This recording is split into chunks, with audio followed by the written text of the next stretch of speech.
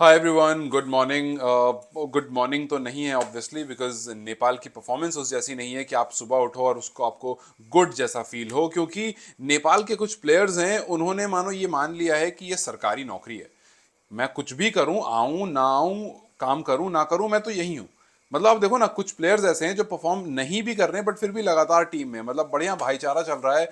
आप देखो कि कुशल भुरतल हो गए, आसिफ शेख हो गए उनको लगता है रिप्लेसमेंट हो ही नहीं सकती। अरे खुद कप्तान रोहित पटेल हो गए, उनको लगता है रिप्लेसमेंट है ही नहीं भाई। आप रोहित पटेल को देख लो, इस पूरे प्रीमियर कप में उनका हाईएस्ट स्कोर 28 रहा है। आप सोचो ना 28 रन उस बंदे ने मारे हैं और एशिया कप का दरवाज़ा खोलने आए थे ना यहाँ से। यहाँ से आए थे कि भाई एशिया कप में जाना है। पिछली बार चले गए थे, पिछली बार आपके पास संदीप थे, पिछली बार आपने घर में खेल रहे थे। आप तो घर के तो खैर बादशाह हो ही आप, लेकिन आप इस तरह से यहाँ आकर के ना आपकी कप्तानी अच्छी। आप अब तक क्यों बच रहे थे? आप मुझे एक बात बताओ, अब तक क्यों बच रहे थे? अब तक इसलिए बच रहे थे क्योंकि किसी मैच में एक बंदा आता है, छह बॉल में छह छक्के लगा देता है। आप इसलिए बच रहे थे क्योंकि संदीप नाम का एक बंदा आता है, वो आपको थोड़े बहुत तेज तर्रा रन कर देता बचा देता आप बच रहे थे क्योंकि गुलशन ने एक मैच में स्कोर कर दिया। आप जितने भी मैचेस जीते हो, एक बार अगर पलट करके देखोगे तो आपको एक चीज़ समझ में आएगा कि हर बार एक खिलाड़ी ने कुछ ऐसा एक्स्ट्रॉर्डनरी कर दिया कि आप जीत गए। चाहे वो दीपेंद्र सिंह हो या गुलशन ने इज़्ज़त बचा ली हो या संदीप ने कहीं बचा ली हो, ऐसा ही कुछ हुआ होगा। एक कंपाइल्ड जो टीम परफॉर्मेंस है, वो नहीं आई है कहीं पर भी। और रोहित के तो क्या कहने हैं भाई? रोहित को तो समझ में ही नहीं आ रहा है भाई कि किसको बॉलिंग करानी है, किसको नहीं करानी है, किसको कब करानी है। मतलब he is the most clueless captain I have seen अभी समझ में नहीं आ रहा है उनको। आप, ना उनकी अप्रोच टी ट्वेंटी वाली लगती है, उनकी अप्रोच ऐसा लगता है ओडीआई का कोई कैप्टन है। मतलब ओडीआई जैसे टीम बना रखी है ओडीआई का कैप्टन है। आपने कुशल बुर्तल को भी कह रखा, भाई इतमान से खेलो, आसिफ शेख को भी कह रखा, भाई एंकर इनिंग खेलो। और खुद तो आप हो ही एंकर इनिंग खेलने को। मतलब आपने नीचे वालों के कंधे पर इतनी ज़िम्मेदारी डाल दी है कि, भाई लास्ट में आप सोचो, दीपेंद्र सिंह यार उस दिन छह चक्का नहीं मारता अरे, छोड़ दो। छोड़ दो वो छह छक्के। दीपेंद्र सिंह आयरी अगर कल लास्ट बॉल में रन स्कोर नहीं करते तो आप और जल्दी हार जाते। ये जो थोड़ा फाइट आई ना, जो उन्नीसवें ओवर तक मैच गया ना लास्ट ओवर तक मैच गया ना, ये नहीं जाता। वो तो लास्ट में कुछ रन आ गया आयरी के बल्ले से, और वही है भाई, आप सोचो एकलौता बंदा मतलब संदीप के बाद ये दूसरा बंदा है नेपाल को जो ऊपर लेकर के जा रहा है। सोचो ना, आप लिस्ट देखोगे ऑलराउंडर की तो उसमें नेपाल का झंडा भी अब दिख रहा है। क्योंकि एक बंदा है जो काम कर रहा है नेपाल के लिए, जो मेहनत कर रहा है, जो बैटिंग बॉलिंग दोनों से नाम कमा रहा है। लेकिन जो कप्तान है, उनको मानो फ़िक्र ही नहीं, और कप्तान के अलावा कुछ प्लेयर्स हैं, जैसे अगर आप इस टाइम पर बोलो, आसिफ शेख को ऐसा लगता है वो रिप्लेस हो ही नहीं सकते। मतलब दुनिया अनिल अनिल अनिल अनिल कर रही है, लेकिन उनको लगता है, अरे अरे, कोई बात नहीं, वो एक आध मैच में आ जाएगा, फिर मैं तो वापस आ ही जाऊँगा। कुशल बुर्दर को लगता है कि कोई बात नहीं है भाई फोर्थ स्टम्प की बॉल है, जाकर के ज़बरदस्ती बैट लगा दो। दूर बॉल जा रही ज़बरदस्ती लगा दो। नहीं, मुझे एनालिसिस करना ही नहीं है, मुझे देखना ही नहीं है। हाँ मेरी फॉर्म अच्छी नहीं चल रही तो मैं रुकूँगा ही नहीं। ना ना ना ना। मैं तो विराट कोहली हूँ ना। खैर, विराट कोहली भी जब फॉर्म में नहीं थे तो उनकी भी, उनको भी पता नहीं चल रही थी कि उनकी स्टम्प्स कहाँ पर है। वो भी फोर्थ और फिफ्थ स्टंप पे जाके बॉल खेल दे रहे थे और निक होकर के स्लिप में आउट हो जा रहे थे। तो आउट ऑफ़ फॉर्म जब आप रहते हो ना, आपको एक बड़ी परेशानी यही होती है कि एक तो आपको पता नहीं होता, आपकी थर्ड स्टंप कहाँ पर है। थर्ड स्टंप पता होना बहुत ज़रूरी है कि भाई थर्ड स्टंप के बाहर वाली बॉल को आपको थोड़ा सा इजी करना है बिकॉज़ आपकी फॉर्म अच्छी नहीं है, आप अच्छे टच में नहीं हो, थोड़ा सा आप वहाँ से खेल करके, समझ करके, रुक करके उस फॉर्म को वापस लाने की कोशिश करते हो और फिर वहाँ से आप एग्जीक्यूट करते हो। लेकिन आप ना एकदम टेंशन फ्री हो कि भाई कौन रिप्लेस करेगा मुझे? मतलब वो सोच रहे होंगे अरे आसिफ के बारे में तो बात हो भी जा रही लोग कह भी रहे अनिल को ले कुशल बुर्दल को हटाने की बात कौन कर रहा है? कोई नहीं कर रहा है।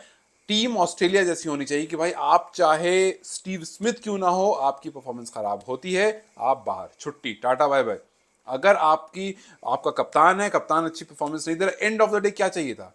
आपको एशिया कप में एंट्री चाहिए थी यार। आप सोचो ना इमर्जिंग एशिया कप भी नहीं मिला। जो लोग कह रहे थे टॉप थ्री में से उठा यार हांगकांग तो बहुत अच्छा है ना यार। मतलब आप सोचो ना हांगकांग के बारे में कोई बात नहीं करता।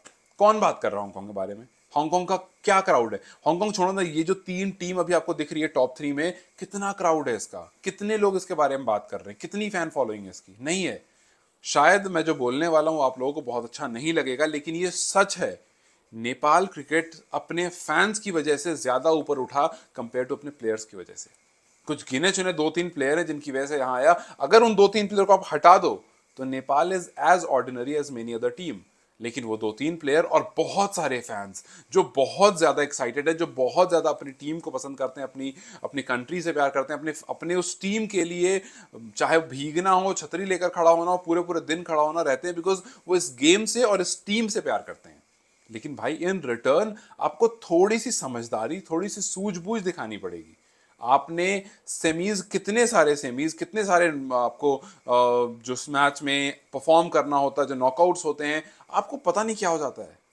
यार, अब यहाँ से कोचेस को रिस्पॉन्सिबिलिटी लेनी होगी। आप सोचो ना, रोहित पटेल नीचे आ रहे हैं।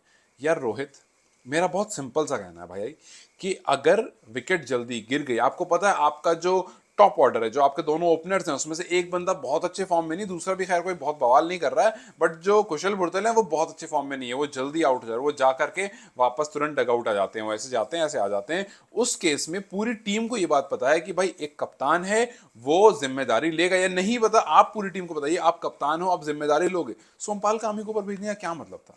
दीपेंद्र सिंह आयरी इतना नीचे आ रहे हैं, सोमपाल इतना ऊपर आ रहे हैं। आप पता नहीं क्या कर रहे हो, पिछले मैच में आपने परफॉर्म नहीं करा। बहुत लोगों ने सवाल उठाया आप पर कि भाई, ये क्या अट्ठारह बॉल खेल के पाँच रन बनाए उसके बाद आपको लगा कि यार, आज भी कुछ ऐसा हो जाएगा, फिर तो और सवाल उठने लगेंगे। भाई, सवालों से डरोगे तो कैसे खेलोगे? मतलब आज आपको ऊपर आना था, थोड़ी देर रुकना था, खेलना था, एक विकेट गिर गई थी। आपको बताना था कि भाई, हमने जो पिछले मैच में गलती करी है, वो रिपीट नहीं करनी है। नेपाल की इस टाइम पर सबसे बड़ी प्रॉब्लम यह है कि वो गलतियों से नहीं सीख रहा है। जो मैच जीत रहा है उस पर सोच नहीं रहा है कि भाई हम जीत गए, लेकिन हमने इस मैच में बहुत सारी गलतियाँ करी और जो हार रहा है कम से कम उस गलती से सीख लेते। जो पिछले मैच में ऐसा लगा उठा करके कॉपी पेस्ट करके यहाँ चिपका दिया हो। मतलब लिटरली यार आपका टॉप ऑर्डर फेल हो गया, आपके मिडिल ऑर्डर में कुछ खास आए नहीं। एक जगह आपको कोई संदीप रन कर देते हैं, एक जगह दीपेंद्र राय रन कर देते हैं, वरना रन करने वाला कोई है नहीं। और फिर आप सारा भांडा फोड़ दोगे बॉलर्स पे कि भाई बॉलर्स ने ऐसा किया बॉलर्स ने वैसा किया। ठीक है बॉलिंग यूनिट काम करेगी, लेकिन उनको कुछ रन तो दो। पिछले मैच में हमने बॉलर्स को बोल दिया। पिछले मैच में हमने कह दिया कि यार बॉलर्स को ऐसे करना था, ऐसे करना था। बैट्समैन आउट होकर के चले गए, अब ज़िम्मेदारी बॉलर्स की थी। लेकिन हर बार थोड़ी करोगे ये काम। हर बार आपने छोटा सा टोटल दे दिया कि लो जी डिफेंड करो। लो जी 120 रन दे दिए, डिफेंड करो। लो जी 140 रन दे दिए, डिफेंड करो। ऐसा नहीं होता है। अब यहाँ से आपको आगे देखना है। आप टी ट्वेंटी वर्ल्ड कप है, वेस्ट इंडीज सीरीज़ है। भाई, जो जाना था, चला गया। आप एशिया कप की तरफ़ जा रहे थे, अब तो ऐसा लग रहा है ओडीआई स्टेटस छिन जाए आपका। मतलब इस तरह से टीम खेलेगी, आपको अब डरने की ज़रूरत है, आपको घबराने की ज़रूरत है कि यार, अगर ऐसे ही रहेगा तो वो स्टेटस जो मिला है, आप टेस्ट स्टेटस की बात करो छोड़ दो, उससे पहले जो स्टेट मिला, वो ना छिन जाए। सो so, थोड़ा सा आप वापस आने की ज़रूरत है समझने की ज़रूरत है जो गलती हुई है उसको सुधारने की ज़रूरत है और यहाँ से इस बात को एनालाइज करने की ज़रूरत है कि भाई जो हमारे प्लेयर्स हैं इनको ये पता होना चाहिए कि आपने यहाँ यहाँ यहाँ यहाँ गलती करी है अगर उसको आप इम्प्रूव नहीं करोगे तो आप टीम से बाहर जाओगे। बाहर जाओ खेलो परफॉर्म करो वापस आओ। बाहर जाओ खेलो परफॉर्म करो वापस आओ as simple as that like in any team so ये करने की अब ज़रूरत है। वी होप के वेस्ट इंडीज सीरीज़ से बहुत कुछ सीखने को मिले और टी ट्वेंटी वर्ल्ड कप में ऐसी परफॉर्मेंसेज ना आए बिकॉज़ अगर ऐसी परफॉर्मेंसेज आएगी तो यार आ, बहुत निराशा होगी। बहुत सारे फैंस हैं वो बहुत उम्मीद लाकर बैठे हैं और उनको बहुत तकलीफ़ होती है जब कुछ ऐसा देखने को मिलता। है बहुत सारे लोग हैं जो ये बात कर रहे हैं सोशल मीडिया पर कि यार अब चार पाँच मैच देखने का ना बिल्कुल मन नहीं। अब तो अगर वर्ल्ड कप होगा तो देख लेंगे बाकी देखने का मन नहीं। तो आपको यार जिस फ़ैन ने आपको यहाँ तक लाया जिस फ़ैन की वजह से दुनिया बात कर रही है उनको तो निराश मत करो। सो दस दस होप के आने वाले टाइम में हमें इन गलतियों से जो इन्होंने करी है, उससे कुछ इम्प्रूव्ड वर्जन मिले, इन गलतियों को सुधारें और टीम और बेहतर करती हुई दिखे। और टी ट्वेंटी वर्ल्ड कप में एक दो अपसेट लाए, किसी बड़ी टीम को हराए, कुछ ऐसा करे कि यहाँ से थोड़ी सी रिकवरी मिल सके। So what you think what you have to say about this match आपको इस टीम के बारे में क्या कहना? है कहाँ पर आपके हिसाब से सबसे वीक लिंक थी? मुझे कमेंट सेक्शन में ज़रूर बताना। और चलो हम अपनी कोशिश जारी रहेंगे अपनी कोशिश जारी रखिए एंड वी होप के टीम भी अपनी कोशिश इसी तरह से, इस तरह से नहीं, इससे बेहतर तरीके से जारी रखे। Till then thank you so much and I see you bye